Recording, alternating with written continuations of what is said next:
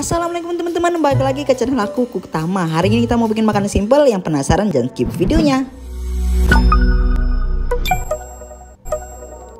Langsung aja masuk ke bahan-bahannya Pertama kita butuh dua butuh telur yang udah kita pecahkan. Kita ceplok aja kayak gini Lalu masukin 10 sendok makan tepung maizena. Jangan lupa juga sedikit garam supaya ada rasa-rasanya guys. Kalau misal 10 sendok makannya itu kurang lebih kalau masih masih keenceran Kalian bisa tambahin lagi ya. 11 atau 12 Ini kita chopper aja sampai dia benar-benar menjadi satu kayak kalis kayak gini. Jangan lupa juga tambah margarin dan ini kita chopper lagi sampai dia benar-benar campur kayak gini guys. Kalau udah seperti ini gampang banget. Kalau udah kayak gini langsung kita aduk-aduk dan kita masukin ke dalam piping bag atau plastik segitiga. Kalau nggak punya boleh pakai plastik biasa aja kayak aku gini. Karena aku di sini susah banget untuk cari piping bag atau plastik segitiga jadi aku masukin ke dalam plastik segitiga. Plastik segitiga plastik biasa kayak gini.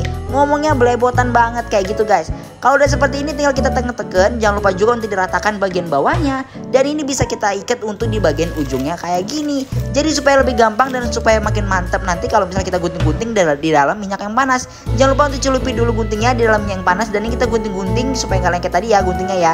Digunting-gunting aja kayak gini dan ini kita biarkan sampai dia matang dengan api yang kecil aja dan sampai dia mengembang kayak gini. Kalau udah kayak gini biarkan sampai agak sedikit golden brown. Kalau aku sukanya sih yang kuning-kuning kayak gini. Dan ini bisa langsung kita angkat. Udah jadi nih yang tahu namanya. Coba komen di bawah guys. Tapi asli ini benar-benar makanan super gurih super enak. Dan ini menyenangkan. Enak banget. Yang penasaran sama rasanya jangan lupa recook. Dengerin deh ini rasa kriuk-kriuk dari yang aku makan tadi.